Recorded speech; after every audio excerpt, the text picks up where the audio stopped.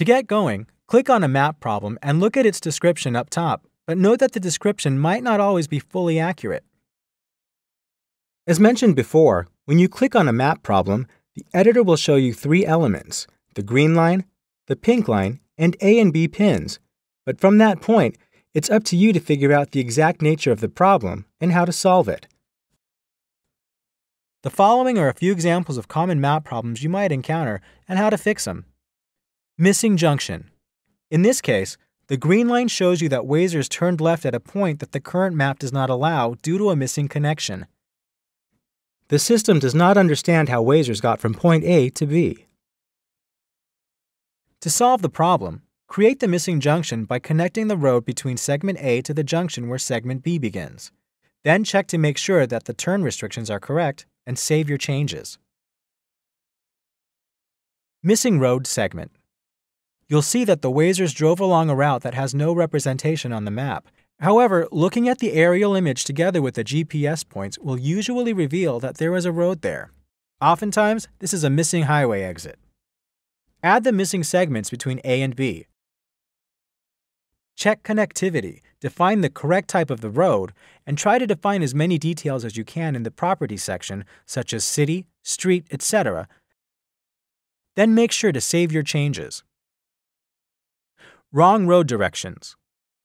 Wazers seem to have driven against the known direction of a road on particular segments. Change the segment's direction to include the driving direction of the Wazers, then save your work. Wrong turn restrictions. Wazers seem to have turned against the known turn restrictions on a particular segment. Select the segment and change the turn restrictions from red to green, then click Save. Connectivity problem. The junction is divided into two separate parts, prohibiting a route from one part to the other. Join the two parts by pulling one junction point to the other until they sort of snap into one. Make sure that the allowed turns are correct and then save your work, as always. Acute angle. Sometimes in sharp angle junctions, the actual turn of the Wazers is a bit different from the geometry of the segments on the map. This leads to a gap between the line of where users have driven and the map itself, and therefore, a map problem. Add a small connecting one-way segment along the route that the user actually drove. Misplaced junction. In this case, the line of where users have driven is turning left, even though according to the map, it's impossible. If you look closely, you'll see that the junction is inaccurately positioned, distorting all connected segments. By simply pulling the junction point to the correct point on the map, according to the line of where users have driven and the aerial image, you'll easily fix the problem.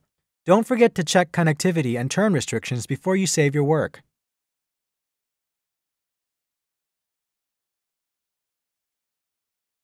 Parking lot. When a Wazer drives inside a parking lot, it's a little tricky.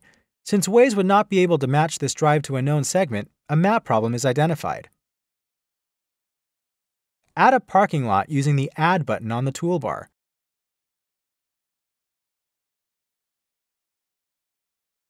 Proper naming is also important. If you like, you can also add the main inner roads of the lot. Just make sure you define them as parking lot roads.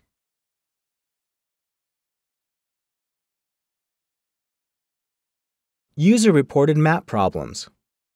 User-reported map problems are pretty varied, but the basic idea in solving these problems is understanding where the Wazer came from, where they were headed, and what caused them to report the problem and drive in a different route than the one Waze provided. In this example, you can see that the driver continued to drive straight while the Waze route directed him to the left.